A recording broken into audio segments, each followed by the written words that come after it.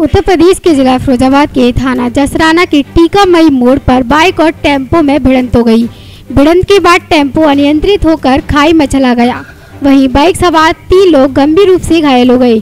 Tempo में बैठे आधा दर्जन से अधिक लोग गंभीर रूप से घायल हुए हैं। बुरी तरह फंसे युवक को रागिरों ने बमुश्किल बाहर निकाला। सूचना पर पहुँची पुलिस ने घायलों को अस्पताल भिजवाया। हालत गंभीर होने पर रेफर कर दिया।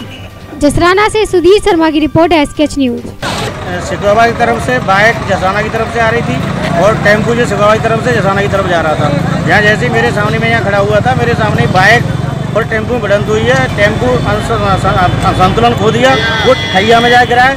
इसमें सात आठ लोग भरे हुए थे। सबकी स्थिति गंभीर है।